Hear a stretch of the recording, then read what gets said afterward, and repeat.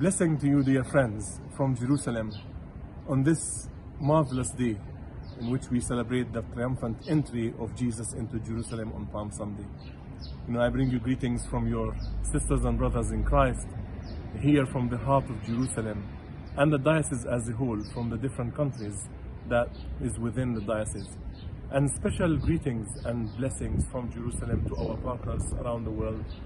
uh, for Anglican Alliance and all the partners that are working hand in hand in bringing the message of hope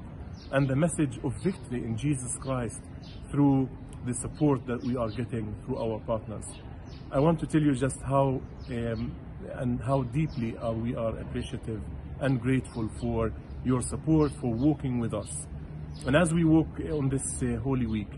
I want to assure you that your prayers and your support is deeply felt within our diocese, our communities and people who are giving thanks for the body of Christ that is manifested through your generosity and your love for us. So may God bless you and I wish you all a blessed Easter